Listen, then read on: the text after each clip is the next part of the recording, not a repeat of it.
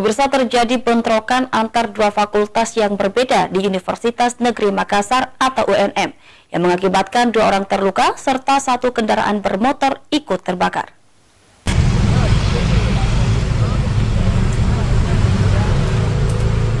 Bentrokan antara dua fakultas yang berbeda terjadi di Universitas Negeri Makassar yang mengakibatkan satu buah unit sepeda motor dibakar dan dua mahasiswa dilaporkan mengalami luka-luka pada Senin malam.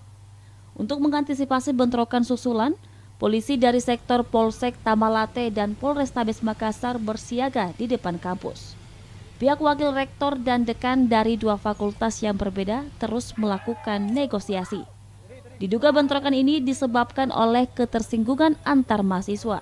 Tadi sore hari ya, kemudian ada mahasiswa masuk ke motor, ya. kemudian berhentikan oleh rekan sama mahasiswanya juga, kemudian saat itu korban di, uh, dipukul kemudian uh, motor ditinggalkan dan setelah korban meninggalkan TKP menuju ke kampusnya dan akhirnya motor tersebut dibakar. Sementara dua korban yang terkena sabetan parang di bagian pipi sebelah kanan serta bagian paha dilarikan ke rumah sakit guna melakukan pengobatan. Rusmawan Dirara, Selebes TV.